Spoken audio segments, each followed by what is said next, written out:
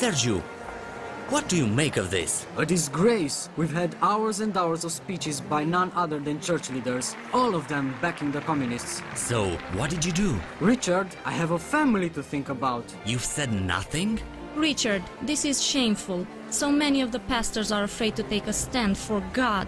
You must wipe the shame of the face of Christ by setting things right. If I do, I may be arrested, and you may end up without a husband. This is not a time for any of us to be cowards. Perfect. Here he comes to give his speech.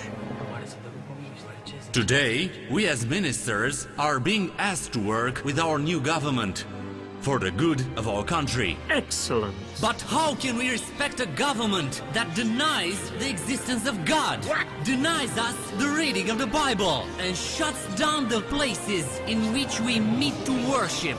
Such a government deserves not our support, but our pity and our disdain. Silence! Shame on the cowardice that does not stand and defend our God. The people of Romania need us now more than ever. It is for God that this church was built. It is for God!